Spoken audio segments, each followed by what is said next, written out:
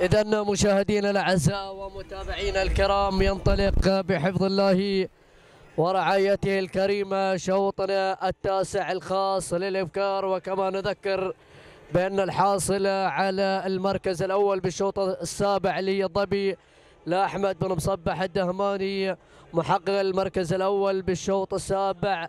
بالصعبة اللي هي لأول اشتراك في هذا المساء على بركة الله وتوفيقه. انطلق شوطنا التاسع الخاص للإبكار ونذهب إلى المقدمة مباشرة ومع المركز الأول هذه الشاهنية على مقدمة الشوط بشعار علي بن صالح.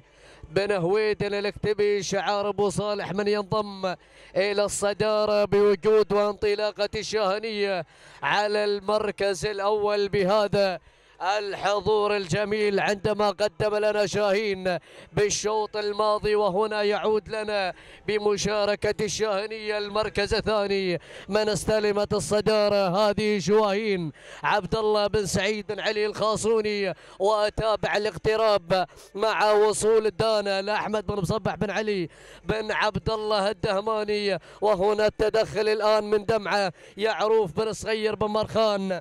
الكتبي ونعود إلى الصدارة إلى اللحظات الحاسمة. هنا في هذا الشوط دانه إلى المركز الأول إلى بداية الانطلاق. أحمد بن مصبح بن علي بن عبد الله الدهماني يحقق هذا الانتصار والفوز مع دانا بالمركز الأول. المركز الثاني شواهين عبد الله بن سعيد بن علي الخاصوني وأول اشتراك لها. هنا في هذا المساء المركز الثالث في المركز.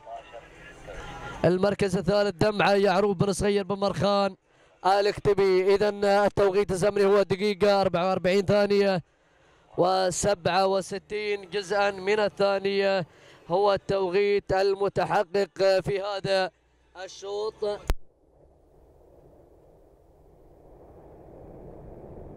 هنا في هذا الشوط مع شعار أحمد بن مصبح بن علي بن عبد الله الدهماني لأول اشتراك مع الدانا بهذا الحضور من انتزعت المركز الأول في هذا الشوط.